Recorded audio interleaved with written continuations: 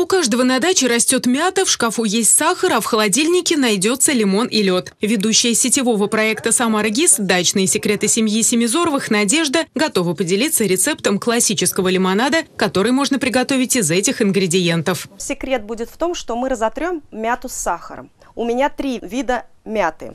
Мята классическая, как я ее называю, такая, которая есть на каждой даче, на каждом огороде, растет сама. Но у меня есть более яркого вкуса мята. Это конфетная с темными черешками. Вкус у нее как у карамельки. И эту мяту мы растирать не будем, она слишком яркого вкуса. И также вот такая вот пепперминт, перечная мята, тоже растирать не будем. Растирать мы будем мяту обычную, крупнолистную. Я взяла вместо ступки вот такую вот кружечку. Нарву туда листья хаотично, совершенно неважно, как вы это сделаете.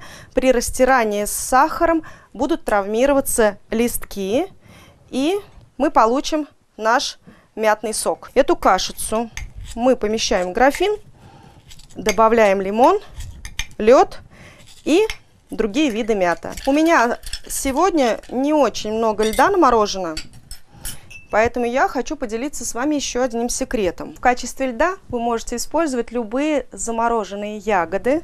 У меня, например, есть замороженная вишня в любой напиток, а также замороженный лимон. В летний период свежий лимон долго не хранится.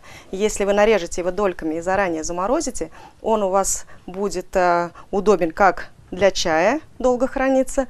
Также будет охлаждать любой напиток, и вы можете просто добавить его вместо льда. Заливаем отфильтрованной водой или кипяченой охлажденной. Освежающий напиток в жаркий день позволит вам чувствовать себя намного лучше. Еще один вариант освежающего напитка – яблочная вода. Ингредиентов для нее потребуется еще меньше, а вкус у напитка тонкий и приятный. Сначала я высыпаю буквально на 5 литров, ну, может быть, 2 трети стакана сахара, зависит от того, какую сладость вы любите.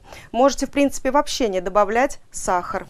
Для того, чтобы сахар растворился, я использую уже теплую, уже не горячую, но еще теплую воду. Яблоко можно кинуть, для красоты можно не кидать. Перемешаем сахар, добавляю еще отфильтрованный воды. Также я предлагаю добавить еще базилика, а, тот, который не был заварен кипятком, свежего базилика. Я использую зеленый, не красный. Красный, мне кажется, больше подходит для овощных блюд. И кладем лед. Дайте настояться буквально несколько минут, и ваша яблочная освежающая вода готова.